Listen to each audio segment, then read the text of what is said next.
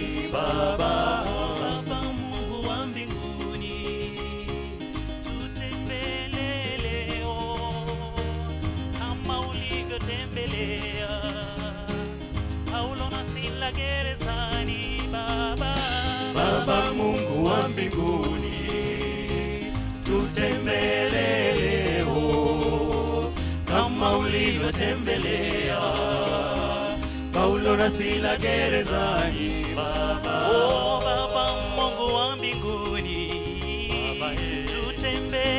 leo tembelee kama ulivyotembelea. Paulo na Sila gerezani. Baba, Baba Mungu wa mbinguni, tutembelee leo kama ulivyotembelea Paulo na Sila gerezani. Baba, ulimtembelea Fatimayo kipofu, ghafla bingu akapata kuona. Ulimtembelea Danieli kwenye tundu la simba, akatoka mzima. Uliwatembelea Meshaki ya Abednego kwenye tanuru la moto, wakatoka salama. Ulimtembelea Fatimayo kipofu, ghafla bingu akapata kuona. Na sisi Mungu, mali hapa tunakuomba tembele Baba Mungu wa mbinguni, Baba yangu, tutembelee leo Sikia maombi yetu. kama ulivyotembelea Baba, Baba. Paulo na Sila gerezani. Baba, Baba Mungu wa mbinguni, tutembelee leo kama ulivyotembelea Paulo na Sila gerezani. Baba, mahali hapa kuna watu wana shida, wanataka waone. Wengine ni ukimwi, wengine kisukari, wengine TB, wengine ni mguu. Baba Mungu wa mbinguni, tutembelee leo kama ulivyotembelea Paulo na Sila gerezani. Baba, chezea Yesu.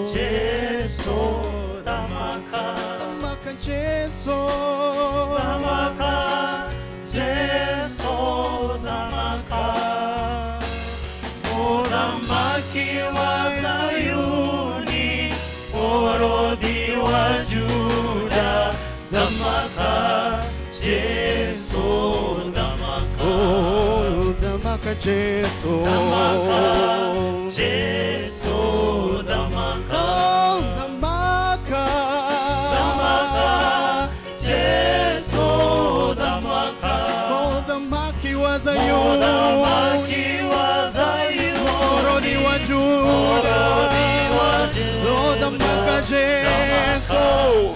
Jesu, dhamaka. Oh, Dhamaka. Jesu,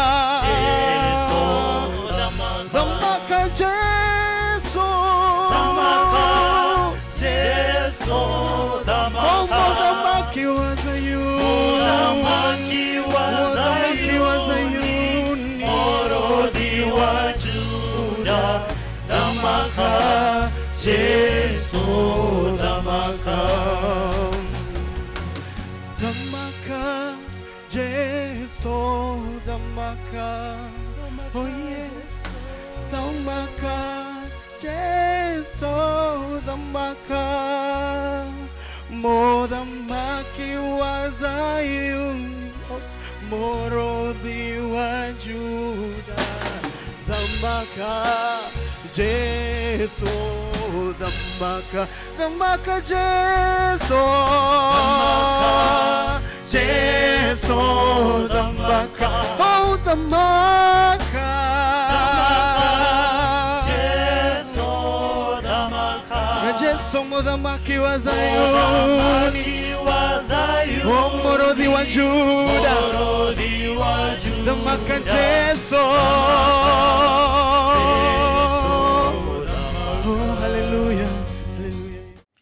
Yes, uh, my name is Gachiengo Gitau. I'm an advocate of the High Court of Kenya, uh, practicing in Nairobi and other courts out of Nairobi.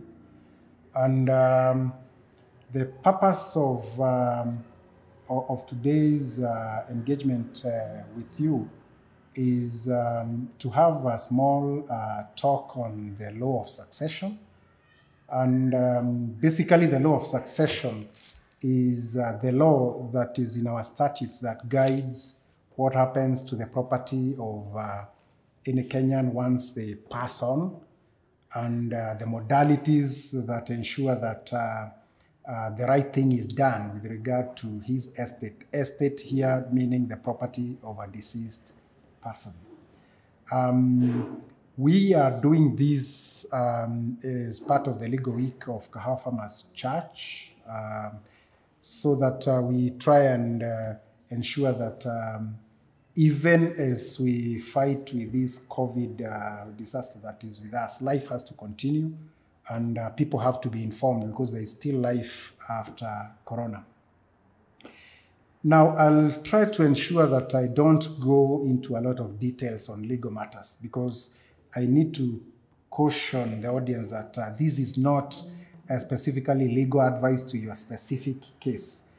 This is more of um, an overview to give you um, a rough idea about what to expect in case of a loved one passing on, or in case you, you, you are to pass on yourself, what happens and what the law expects. Um, in a nutshell, um, we have uh, two types of situations once somebody passes on.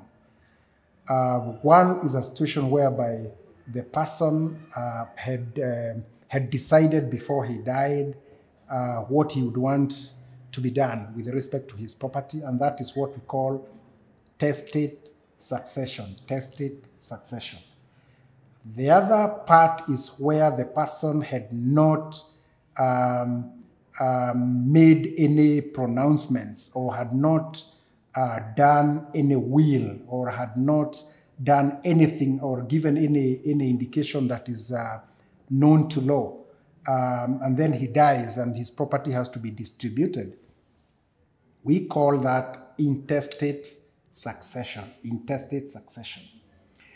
Now, with respect to testate succession, where the person had already pronounced himself about what you'd want to be done, uh, we have two types of uh, things that can happen. There is something we call a written will, and there's something we call an oral will. Oral wills are not very common in this country because they're usually a bit controversial in the sense that somebody has to, uh, it must be something he said in the presence of um, of witnesses, and he dies within a period of three months. But uh, the more recognized one is what we call a written will.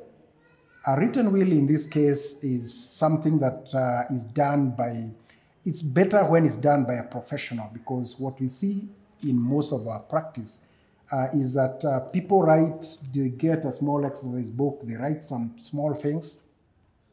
But when they die, we realize that uh, those um, what they have written may not be able to stand in a court of law in case it is contested because it's not a document that meets the requirements of the law. So it's always advisable that uh, if somebody wants to write a will, they get advice from a lawyer or somebody who knows what a will is all about, um, about who, about um, who, who is competent to write a will, who is supposed to be to witness the will, how many people are supposed to um, to be present, who is not qualified. Uh, most people don't know, for instance, that you are not supposed to have uh, the people who are benefiting, like your children. If you are a man, you are not supposed to bring your children and they participate in you writing a will. The will is supposed to be a secret document uh, for obvious reasons to avoid uh, bringing a lot of animosity when you are still alive. Um, and uh, they are, they, they, they, they, they are, they, you could be advised on the number of people who are supposed to be there. There's somebody we call an executor. Um, there, are, there are at least a minimum of two witnesses. Those are the type of things you are not going to know if you do it without the help of a professional. So in this kind of case, I would not want to dwell too much on the issue of a written will because I think in this kind of setup, it may not be possible to exhaustively advise the audience on what uh, is supposed to be there in a written will. But what I may also need to do before I move away from the issue of the will is that uh, most people assume because you have written a will, uh, the will by itself is just going to be effected automatically. That is not true. If you die and your will is with your lawyer or some other person that you had trusted, that will will still have to be subjected to the legal process. Uh, there's, a, a process we call probate of the will. That will has to be filed in court. Uh, a gazette notice has to issue so that um, in case there is somebody who has an objection towards that will who thinks probably the will is fake or probably they have not been provided for can be able to challenge that will notwithstanding you are the one who wrote it. Um, so uh, it's good to uh, to clear the air that you don't write a will and immediately it is effected because it has now to go through the due process so that um, um, even if we are talking about transfer of land, the, the land registry is not just going to take a will and say, uh, Mr. Kamau had given his children uh, this parcel of land, and that parcel of land is going to be effected using just the will. It must come out as some form of a court order after a due process of the law. Now, let us uh, come to the issue of intestate succession. Remember, we said intestate succession is the succession where the person had not said anything. He had not pronounced himself um, on what he would want to be done to his property. Now, if that happens and the person comes to my office as a lawyer, what I, would, I, advise them is to, to prepare a certain set of um, of, of requirements that uh, have to be um, have to be made available for us to, to kickstart that process. The first thing is that once the person dies, obviously you get a burial permit, and uh, the person, after the person is buried, you will take that um, that uh, burial permit together with the ID card of of the deceased person and you take it to the registrar of births and deaths, uh, you will be issued with a death certificate. The first thing is a death certificate. Once you get the death certificate, you will need to proceed to your local administrator. Most of the times, we use the local chiefs. Uh, probably in some cases, the what we, are, we have always called the, the DOs. They probably have some other name now they will issue a certain letter. That letter indicates that the person who died, we, we call the deceased, had uh, hailed from their area of jurisdiction. He had this number of uh, children. If it's a man, the, this is the wife or wives. If it's a, the, the wife who has died, the husband. And um, uh, he'll simply certify that he knows that person is from that area. Now, the chief doesn't have any powers to start now uh, giving uh, their opinions. We usually see sometimes uh, this happening where the chief sort of like get, tries to give an indication on who is supposed to, to inherit what. That is wrong. That is the function of a court of law. Um, the letter from the chief having been acquired, uh, we advise um, the family of the deceased now to go um, and do what we call uh, due process with respect to the property of the deceased person. We try and get uh, copies of the of the title deeds, if it's land, shares, uh, certificates, probably logbooks of motor vehicles, even to assess the um, uh, probably the um, uh, the animals and generally movables and immovable property of the deceased person because we need to record that when we are uh, starting the process of succession. We need to have a list of dependents.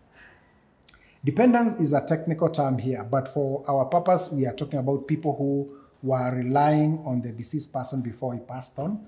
Um, it, may, it, it doesn't necessarily mean uh, the immediate, for instance, children and, uh, and, and spouse. Sometimes it goes beyond uh, to the level of anybody who was uh, dependent on that person. Um, they are listed, and most of the time, that list is supposed to tally with the list that, that was given and or granted by the chief. Now, with respect to um, property like uh, like land, we need that um, the title deeds uh, somebody does an official search, so that we don't have a situation whereby people have copies of title deeds that were long sold, or probably they have long-term mortgages. Uh, I mean I mean charges they are charged. Uh, so um, once we get um, the full list and sh- uh, showing that the property is a free property, is not encumbered in any way, we know now we are set to go with respect to immovable property. Immovable property here means property like land. Um, for purposes of uh, of uh, motor vehicles, those are movable properties. You may need to do the same so that you don't have a situation whereby you introduce property that is already encumbered. Is the, the, the, the motor vehicle, for instance, probably doesn't even belong to the deceased person. You need to confirm. Once you have all the property of the deceased person, and it is in one um, one document, and you have the full list of the beneficiaries, you have a death certificate, uh, you have the letter from the chief. Now you go to the next step. We tell you the other people who are supposed to be to be present. You may you, you will definitely need two persons, uh, a minimum uh, of two persons who we call guarantors, people who can say what you have said is actually true. We know these people, and what they have said in those documents is true. They need to sign something we call a bond. They're merely saying we know uh, that that is true, and we would be ready even to forfeit a certain amount in case it was found that we were lying. We need also the family to come up with administrators. Administrators are people who are going to be in charge of the process of succession until the time when the estate is going to be distributed. Most of the time, we usually have uh, two to a maximum of four, but in some cases, we can even have one person as the administrator. An administrator, most of the time, is, uh, is usually part of the people who are, um, are benefiting from the estate. Uh, it's not necessarily a legal requirement because we, are, we have situations whereby uh, we have administrators who are not necessarily uh, benefiting from the estate. Um, we have situations where we have um, institutions like a bank that had a lot of interest in the estate of the deceased person being allowed to come in uh, as, uh, as administrators. Um, I don't want to go into the uh, into the intricate details of that. We even have stations whereby estates are managed by what we call a public trustee, which is an office under the Attorney General, where they can also manage estates of a deceased person. But I didn't, I do not want to go through that route at this moment. Now, once you have all these documents uh, for purposes of intestate succession, the process that follows from there is that uh, the documents are filed, what we call um, a petition for letters of administration. That's like a prayer in simple language. It is filed in court. It can be filed in the lowest court uh, from a magistrate court to the high court, and that is determined by the amount of um, uh, the, the, the worth. Well, there's something we call pecuniary jurisdiction and territorial jurisdiction. Territorial jurisdiction means you, you are supposed to file uh, your, your claim in the nearest court possible so that we don't have a situation whereby somebody is filing uh, for succession in Nairobi and the property is in Mandera. That becomes complicated in case there is a dispute and the court would want to visit uh, the scene. It would be very cumbersome for the court to move all the way to Mandera to, uh, to physically see the property. Uh, once now uh, you have identified, you are going to file uh, where most of the property is and where the deceased was living, where we, and that's what we call in law domicile. Uh, you file um, if the, mat- the matter is of a little uh, bit of a low amount or worth, you file it in a magistrate court. If it's of a very high uh, value, you go to the high court. Um, magistrate courts have a, up to a maximum of around 20 million. There are different magistrates who have probably less depending on their rank. Once you file um, that, do- that document we are calling the petition, um, you will be required to pay a small amount of, of duty. It's basically a nominal amount. And then um, you will be given a, doc, a document that allows you to pay for um, the, the, the claim or the petition to be uh, placed in the a government newspaper we call the Kenya Gazette. Once the Kenya Gaz- uh, the, the notice comes out in the Kenya Gazette, it remains for 30 days where nobody can be able to move anyway until the 30 days are over. Once 30 days are over and there is no claim, that's when you go to the next step. If there is somebody who is opposing, then the, the dispute has to be heard first. And that uh, something we call in law an objection. Um, once that objection has been heard, that's when you can go to the next step. If there is no objection, uh, the law requires that um, you follow up until, until you get the first certificate that is issued by the court, and that is what we call a grant of representation. Once you get that grant of representation, that is the first certificate simply um, admitting that uh, the person who was nominated to be an administrator is now recognized by the court, and the people who are proceeding with the process are now recognized by the court. Um, that from the day you get that particular document, you are supposed to wait for six months. Six months. You cannot be able to do anything else before the expiry of six months.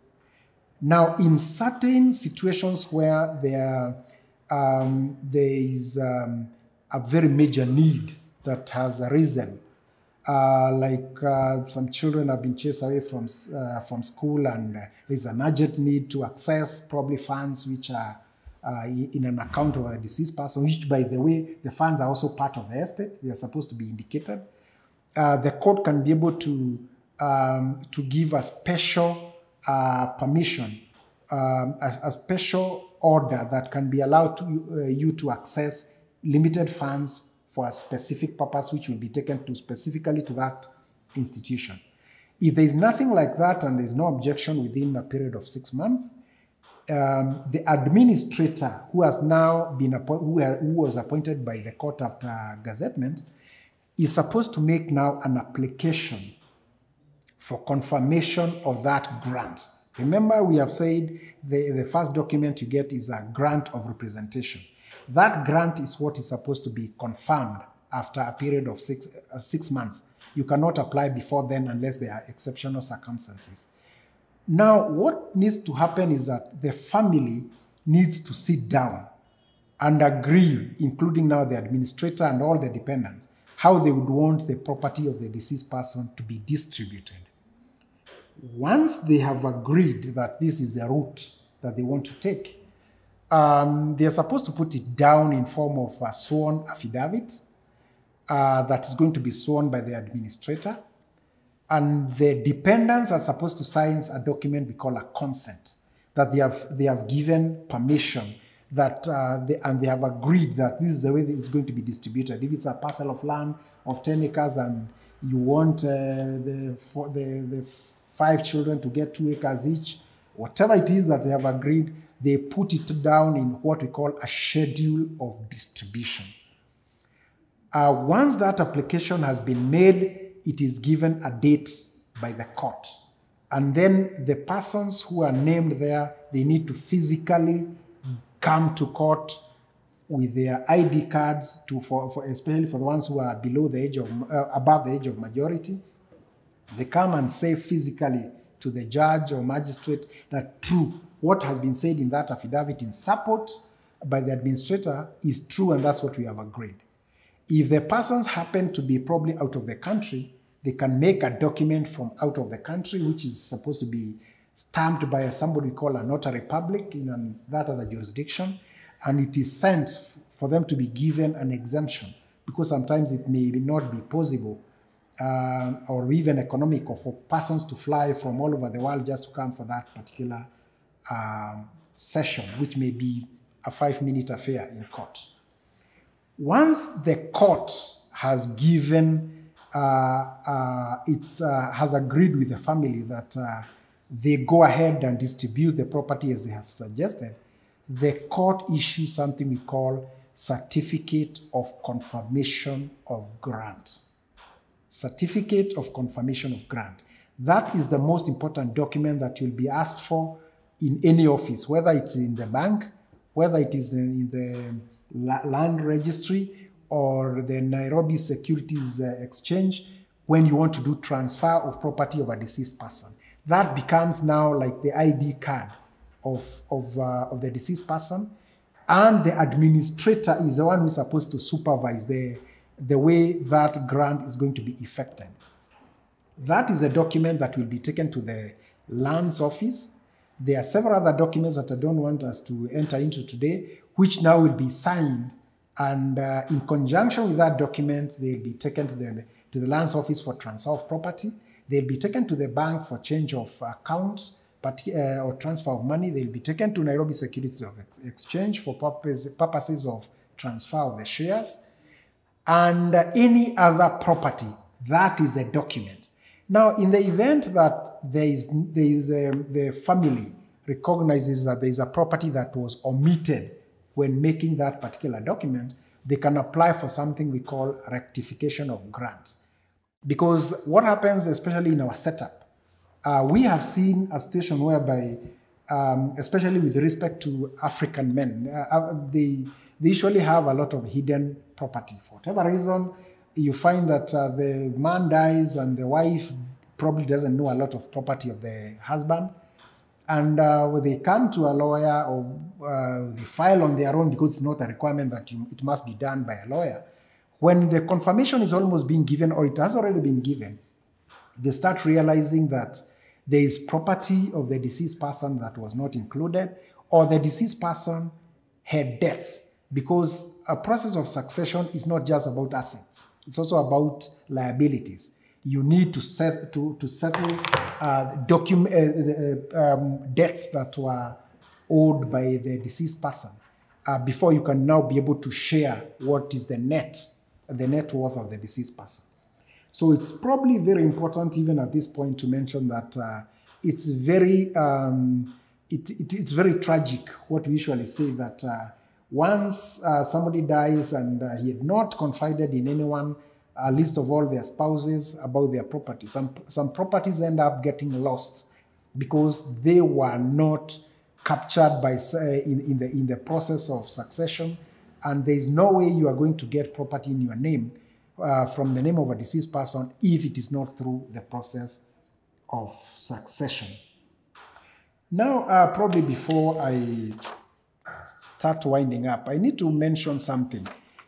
Once this process is opposed by any member of the family or any other interested party, now that the, the, the process that I've explained above ceases to operate, everything stops that now becomes a, success, a, a, succession dispute Now, different parties, parties, the ones who are pro and the ones who are against, now have to battle it out of uh, out in court until the court now gives uh, a finding one way or the other.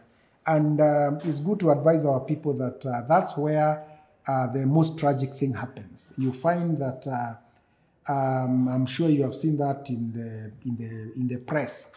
You find that uh, there are some disputes that have been in court even for 40 years. I'm sure there are some recent ones that you have seen in the press and so in social media. It is it is very sad because a very big chunk of the estate is used up by us lawyers, the courts, and all manner of people who participate in the in the dispute until the day it will be resolved. So uh, my advice, first of all, would be it would be better even to delay uh, for uh, filing this process if there is some fear of disagreement, so that by the time you file, there is a complete consensus in as much as possible. There is a give and take. Uh, there is no way everybody probably might get exactly everything that they would have wanted. But the moment you go through the route of a dispute, um, the truth of the matter is that uh, you could be in court for a very, very long time. And it is probably uh, counterproductive because the property is supposed to be used by you when you are already um, um, uh, energetic, you are enjoying the property of your probably spouse or father or mother. And uh, if you have to battle out for 20 years, 30 years, it may not be as useful as if you had agreed. Um, now, um, as I wind up, uh, one thing, I, something else that I may also uh, need to uh, to mention is that uh, there are so many laws uh, that somehow interface or they they have um, some bit of reference and interaction with the law of succession, and um, so it's not probably very safe to give you an indication that uh, the law of succession operates in a vacuum. It operates in conjunction with several other laws because um, some people may may probably write wills and the, the wills are found to be uh, to be unlawful because probably you want to to bequeath or give property to an, an unlawful organization. That's not going to be allowed even if it's your in your will.